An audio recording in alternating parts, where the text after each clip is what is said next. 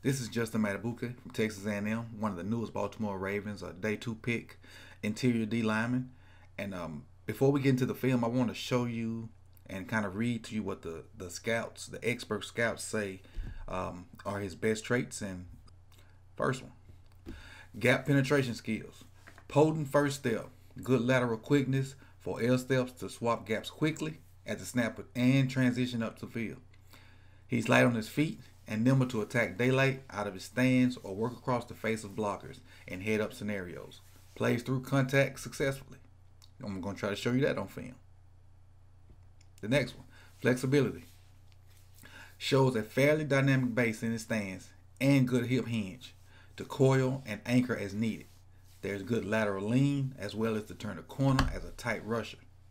I'm sorry, to turn the corners tight as a rusher. He'll drop inside shoulder and get the tight apex on his rushes and get into the body of the quarterback against guards. Which that that definitely is on there. His his leverage, his understanding of leverage is, is phenomenal. Pass rush counters. Powerful hands are complemented with his footwork to gain ground and pair hand strikes with his penetration steps.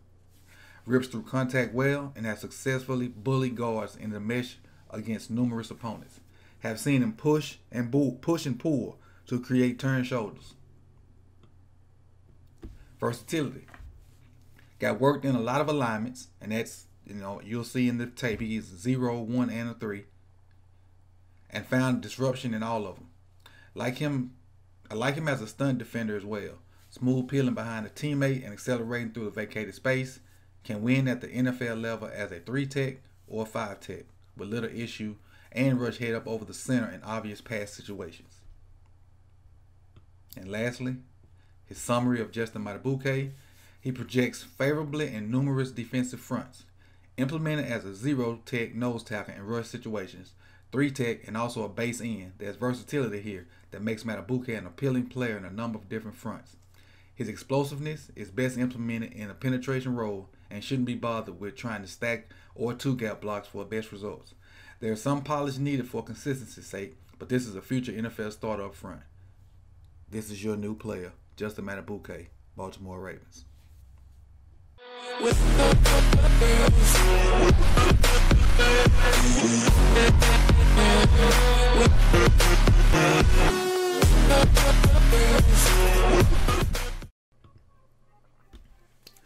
So looking at Justin Madubuike's film, I was going to do the LSU and the Alabama game, but I think the LSU game showed me all I needed to see to um, you know to warm up to this pick and and look at it look at it as a pick for the future. Uh, a guy that you know can can get in the rotation this year, but eventually become a star once he uh, you know gets the full um, NFL experience behind it.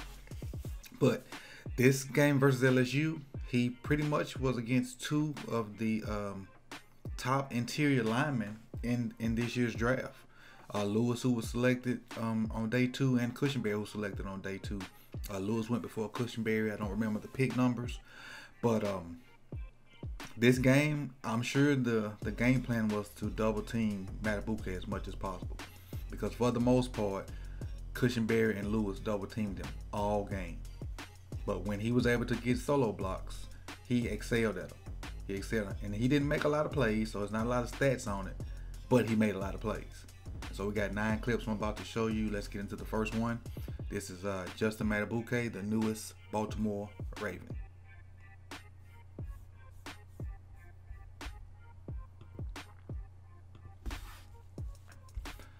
So there's, and before we get started, they lined him up at zero, which is nose, one, and three. So you'll see those alignments throughout this film. This one, he's in one technique.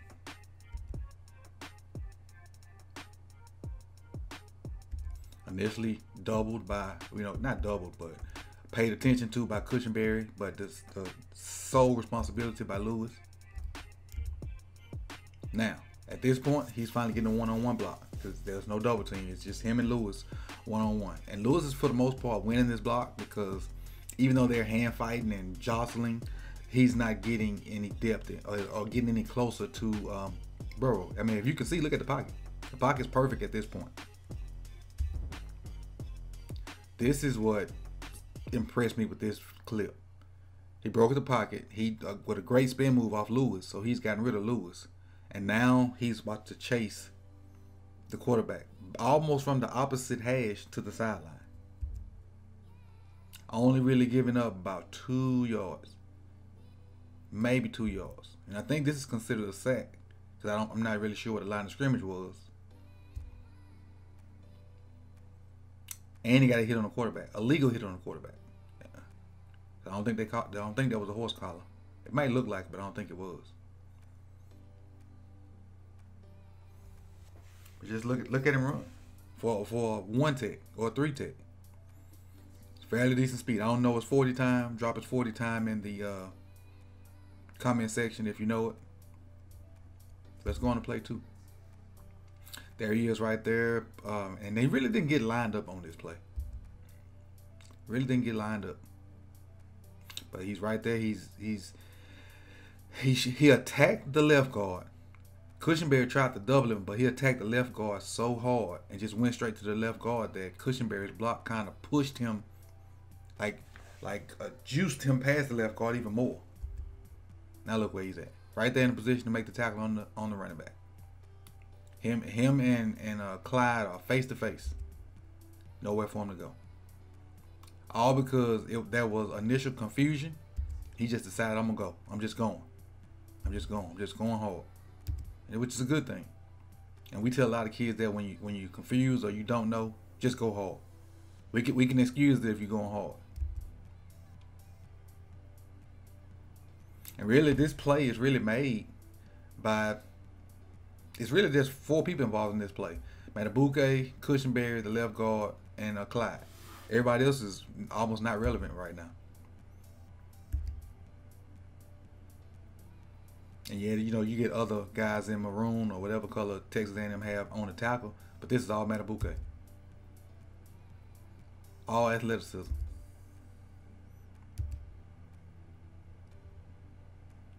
Go to the next. He now he's in a, a nose, a zero technique. One on Cushenberry. Look at the bull rush. Look at the bull rush. And you know, some people criticize Cush. You're saying he had low pass rush numbers. This may be one of the reasons why, but and there's not a stat for this, but it's just the fact that the quarterback has to see his center coming right back to his face. I know he see it, so I got to get rid of this ball quick before I get sacked. It's not a, it's not a stat that's gonna say this is a, and it might be pressure, but just look at how fast he puts Cushenberry in his face. And one thing about Madubuike does, he knows how to play with leverage. He's square. Look at his shoulder square now. But once he get into contact, he gets them low. He tries to get on the guys. Playing with leverage is, is uh, one of the biggest things defensive linemen and edge guys can do. Play with leverage. The low man gonna win. Get low, dry your feet. Look at that. He drives Cushenberry back. Let's say this is about three yards. It's about five yards. Basically puts him in Joe Burrow's lap. And Burrow can see that. Even though he's trying to slide step and he got good pocket presence. He, he sees that guy getting pushed in his lap and make sure he gets rid of the ball. Again, at the nose. This time he gets a, a one-on-one with 70. So watch how fast he goes from here to crossing 70's face. Boom, just that fast. Just that fast. See this A gap? I'm gonna cross your face with a little stutter step and go straight to B gap. And that's one of the things that as a as an offensive lineman, it's like a sin. Don't let people cross your face. But now look at the leverage again. He's the he's way lower than 70. He's he's holding him off with that left arm. Hold him off with that left arm got his shoulder pass, and now he's gonna take that same left arm and try to knock the left arm of the guard down, right there. Now he's basically won this block because all he gotta do is get rid of him. Now he didn't make the tackle. You want you, you want him to finish right here. You want him to finish right here. But Burrow's pocket presence is is impeccable. But he forced the play. You want him to finish, but he forced to play. You can we can live with that. Now he is a zero again, nose again. It's gonna be a long stunt. That's what you see on the screen. It's gonna be a long stunt with this with this edge guy out here. It's gonna be an extremely long stunt.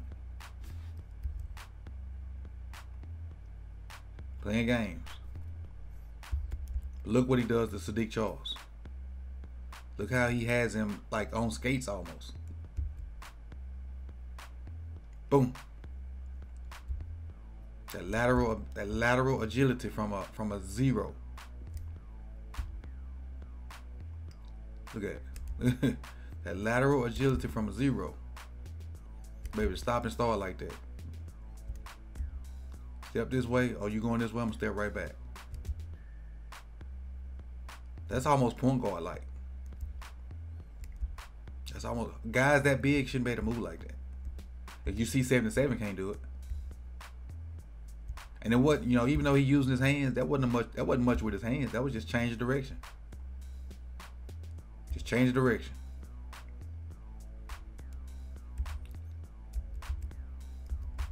That's it. Just simple change direction. He mimicking where Burrow's going. Burrow going up. Okay, I'm gonna go up. Burrow going back. I'm gonna go back. Right here to get this tackle. So when he wasn't being double teamed, he he held his own against this LSU um, O line. Right now he's in a what's that? Uh, two. He's in a two. One on one with Lewis. One on one with Lewis. Finally, get a give me a one on one block. Slow it down. Get a one on one block. Him and Lewis one on one. There, right, right here. Look how he, look how he extend. Look how he extend on Lewis. Got him, got his neck, got Lewis's neck popped way back just by using that right arm. But at this point, he's won his block because he's held this gap and he has leverage on Lewis. So now all he has to do is just get rid of him and go straight to the quarterback. Simple. When he got one-on-one blocks, he held his own versus this this great LSU O line. Look at him press him out. So it lets me know he's strong too, because Lewis is strong. He pressed Lewis straight out with both hands. Now I'm gonna get rid of you because the whole time he pressed him out, look at him turning his hips to stay in his gap. Got up under him. Now as he presses him out further back, watch his hips just ease into that gap. Instead of moving his feet, instead of moving his feet. Now, and look at the gap integrity by the, the Texas A&M. This guy got C gap, and Madubuike has B. Linebackers coming here for A. That's great gap integrity right there. And all of them won their gap integrity on this play. Now go to quarterback. I mean, they got a completion out of it, but Burrows, the LSU was different on offense. they they were different on offense. Where is he now? Where is he now? All right, he's playing three technique now. Playing three. So he may get a solo block again with, with Lewis. Start running games. Watch how quick he gets, gets in his A gap. So he's going to go from this, what's this, this B gap to this up to the weak side A in a flash. Right there. And that's probably where the ball was going. Probably where the ball was going. There to make the tackle for a tackle for loss. But again, the jump cut by this dude, and he's special too. He was a first round pick. He just couldn't catch it. He's where he's supposed to be. Where he's supposed to be. Great quickness, great lateral quickness for uh, interior D lineman. Clyde just made a better play on him. Clyde just happened to be faster than him. That's all. The other guys should have been able to make the tackle. Madubuike did his job right there. The play's blown up right there. The initial play supposed to hit right up in here. Madubuike made sure that didn't happen. But all these other guys are kind of out of position. That guy slips and they get some yards out of it. Not Madubuike's fault. He did his job. All right, now he's playing um, a one.